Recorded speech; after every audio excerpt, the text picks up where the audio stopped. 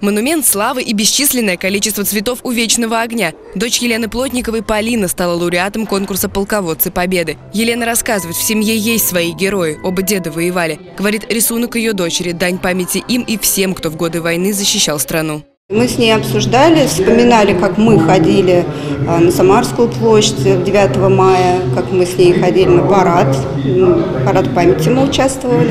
Вот, и ну, как бы у нас совместно, она сказала, вот меня впечатлило, когда много-много цветов около вечного огня, и мы решили с ней изобразить вот этот вот момент. Конкурс «Полководцы Победы» проводится в преддверии Парада памяти и впервые на городском уровне. Свои рисунки на суд жюри представили более 300 школьников со всей Самары. Сюжеты самые разные. Портреты полководцев и ветеранов, картины боя и легендарное знамя победы над Рейхстагом, а по соседству сцены мирного времени и семейного уюта. Очень грамотно.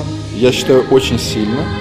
Даже вот семилетний ребенок, я на выставке сейчас видел, очень хорошо нарисовал. Парад и даже высказывания мы помним, как уходили на фронт. Это живой пример патриотизма и героизма, доблести. Именно это знание, именно этот исторический э, кусочек мы должны передавать с поколения в поколение, потому что он является предметом нашей гордости.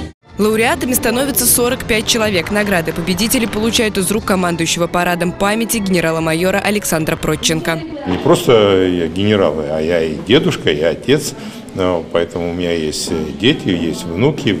Поэтому я смотрю на них и сравниваю э, о том, что это наше поколение, наше поколение растущее.